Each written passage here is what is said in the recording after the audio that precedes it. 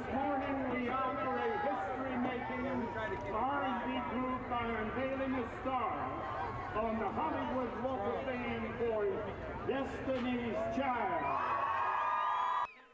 All right, ladies and gentlemen, Destiny's Child. Each one of you, say a word.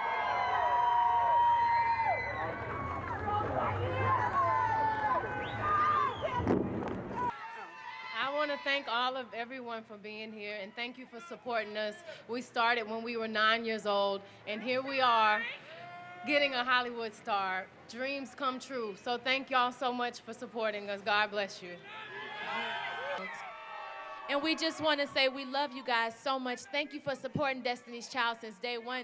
I actually remember when we made a trip here and we were going up those escalators and we were walking down to the down the Hollywood Walk of Fame and we were like, we want a star and to be here, y'all, is so humbling and we are so honored.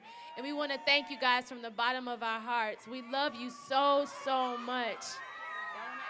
such a wonderful, wonderful, wonderful time in our lives. I know as I'm sitting here, as I'm standing here, as Miss Tina has said, all Destiny's Child wanted was to go gold. And then Kelly saying, walking down the Hollywood Walk of Fame saying, we wanted the star.